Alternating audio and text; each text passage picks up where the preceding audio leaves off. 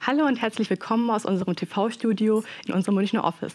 Mein Name ist Alessa Kästner und ich bin heute hier mit meinem Redaktionskollegen Helmut van Rinsum. Und wir stellen euch heute das Thema des Monats vor. In der neuen Ausgabe der Internet World Business dreht sich diesen Monat nämlich alles um künstliche Intelligenz. Chatbots, Algorithmen, Machine Learning. Man hat schon viel davon gehört, aber irgendwie ist das alles sehr abstrakt und wenig greifbar. Ich weiß nicht, wie es euch geht, aber ich habe mir schon oft die Frage gestellt, was ist eigentlich eine KI? Um diese Frage zu beantworten, haben wir heute einen ganz speziellen Studiogast. Und was die sagt, hören wir gleich. Alexa, definiere künstliche Intelligenz. Laut Wikipedia, künstliche Intelligenz, auch artifizielle Intelligenz, englisch Artificial Intelligence, ist ein Teilgebiet der Informatik, das sich mit der Automatisierung intelligenten Verhaltens und dem maschinellen Lernen befasst.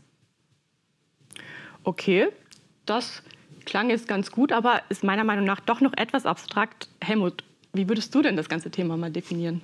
Ja, war schon gut erklärt, wenn auch relativ kurz. Ich würde einfach sagen, vereinfacht gesprochen ist künstliche Intelligenz. Damit beschreibt man Computersysteme, die sich intelligent verhalten, die versuchen, menschliche Fähigkeiten nachzuahmen, also Sprache zu verstehen, Sprache zu sprechen, Bilder zu erkennen, Zusammenhänge zu checken und dann Vorhersagen zu treffen. In dem Zusammenhang ist auch der Begriff, du hast es erwähnt, Machine Learning, auch ganz interessant. Darunter wird Software verstanden, die von sich aus in der, in der Lage ist zu lernen ohne dass sie extra umprogrammiert werden muss.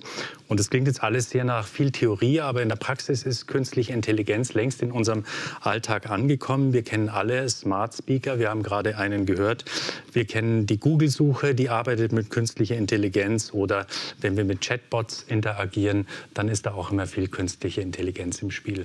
Ja, absolut. Also es gibt eigentlich, glaube ich, keinen Bereich unseres Lebens, wo künstliche Intelligenz noch nicht mit reinspielt. Was macht aber diesen Trend gerade für den Handel so interessant? Ja, haben wir uns auch gefragt und untersucht und wir haben dann ungefähr 10 bis 15 Bereiche identifizieren können, wo künstliche Intelligenz für den Handel eine Rolle spielt. Ich kann mal drei Beispiele nennen, zum Beispiel Dynamic Pricing. Da geht es darum, dass die Preise des Online-Shops in Echtzeit angepasst werden und zwar nach Faktoren, je nachdem, wie viele Produkte habe ich noch vorrätig, wann kommt die nächste Lieferung, wie verhält sich eigentlich gerade die Konkurrenz, wie ist das Wetter, spielen Events irgendwie mit eine Rolle, welcher User sitzt da gerade vor mir, ist der bereit, eine Ausgabe zu tätigen, wie viel Geld hat der? Und alles spielt dann eine Rolle, je nachdem, ob der Preis nach oben oder unten angepasst wird. Ein weiterer äh, Einsatzbereich ist die Texterstellung. Es gibt sehr viele äh, Shopbetreiber, die lassen sich ihre Produktbeschreibungen mittlerweile von künstlicher Intelligenz erstellen. Das geht sehr schnell, ist auch günstiger, als wenn man lauter Texte hinsetzt. Und es hat den Vorteil, dass man schnell Änderungen vornehmen kann. Man muss die KI quasi nur mit Produktinfos füttern und dann schreibt die ganze Texte drumherum. Und zum Teil lassen sich diese Texte auch schon in andere Sprachen übertragen. Und last but not least, Produktempfehlung ist so ein Feld. Wir kennen das alle von Spotify, Netflix, YouTube, Facebook, dass wir immer die Inhalte zu sehen bekommen, die uns interessieren, damit wir möglichst am Ball bleiben. Und auch das ist für Online-Shops zunehmend von, von Relevanz. Der Siegeszug scheint also unaufhaltsam zu sein und somit sollte sich auch die ganze Branche damit beschäftigen. Bei uns auf der Website internetworld.de gibt es immer wieder spannende Artikel dazu, natürlich auch auf unseren Social-Media-Kanälen und vor allem in der neuen Ausgabe der Internet World Business, der Siegeszug der KI, das Thema des Monats. Dem haben wir deswegen ein ganzes Heft gewidmet. Helmut, du hast dich viel mit dem Thema jetzt auseinandergesetzt. Was würdest du sagen, welche Artikel in dem neuen Heft darf man sich auf keinen Fall entgehen lassen? Ja, schwierig, da jetzt einen Artikel zu erwähnen. Ich würde mal sagen, das ganze Heft ist interessant geworden. Wir haben uns haben versucht, die ganze Bandbreite zu schildern, wo künstliche Intelligenz im Handel eingreift. Ein paar Beispiele habe ich schon genannt. Wir beschreiben das möglichst konkret an Cases, zum Beispiel äh, wie eBay und Zalando Bilderkennung einsetzen. Der User muss ein Bild hochladen, kriegt dann Produkte empfohlen, die offenbar seinem Styling äh, entsprechen, bis hin zur Lagerhaltung.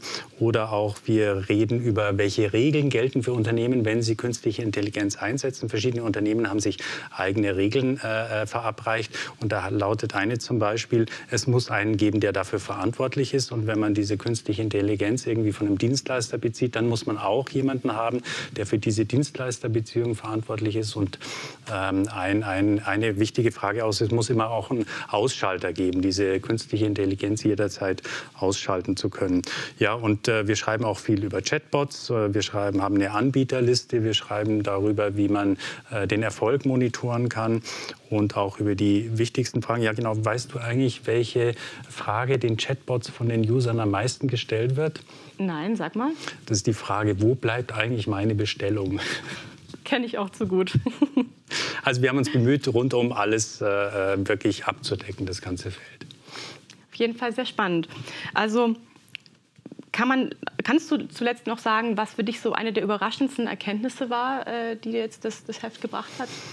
Also die überraschendste Erkenntnis war quasi diese Summe, würde ich mal sagen, wie viele Bereiche es gibt, äh, wo mittlerweile künstliche Intelligenz im Handel eingesetzt werden kann, auf jeden Fall.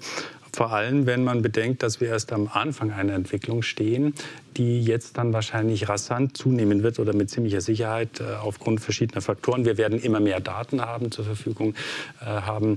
Die Software wird immer leistungsfähiger und wir werden auch immer mehr Leute haben, die sich damit auskennen, werden immer mehr ausgebildete Data Scientists auf den Markt kommen. Das heißt, das Thema wird zunehmend relevant äh, sein. Und wir haben uns bemüht, auf diesen 60 Seiten ähm, zumindest den Status quo so zu beschreiben und einen kleinen Ausblick zu geben, wo die Reise hingeht.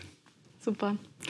Wir fassen also zusammen, KI wird vieles im Handel verändern und ja, es wird auch einige Herausforderungen mit sich bringen. Und deswegen ist ganz klar, ähm, wer sich jetzt mit dem Thema nicht auseinandersetzt, äh, wird auf Dauer abgehängt werden. Damit das nicht passiert, äh, werft am besten gleich einen Blick in die neue Ausgabe der Internet World Business. Premium Plus Abonnenten finden, finden diese wie immer in ihrem Briefkasten und natürlich gibt es sie auch im digitalen Heftarchiv. Und wer noch kein Abo hat, der kann natürlich wie immer eins unter internetworld.de slash Abo abschließen. Dann sage ich damit vielen Dank fürs Zuschauen und bis zum nächsten Mal.